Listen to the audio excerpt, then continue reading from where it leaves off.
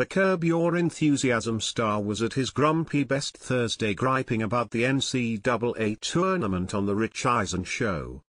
Can I make an admission here? This tournament, how much can I follow in sports? I'm supposed to know who's on Drake. I mean, it's crazy. Crazy. Is that Valparaiso? I know names on Valparaiso. This is insane. I don't know anything.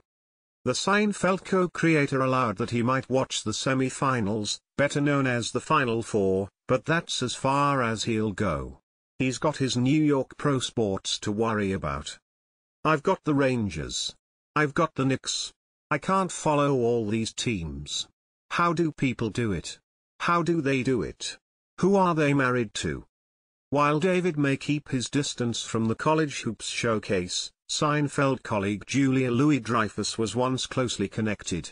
She cheered on her son, Charlie Hall, a reserve on Northwestern, when the Wildcats played in the 2017 NCAA tournament.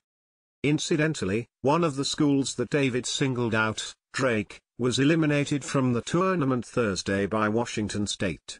Valparaiso didn't make the field this year but the school has made nine appearances in the tournament.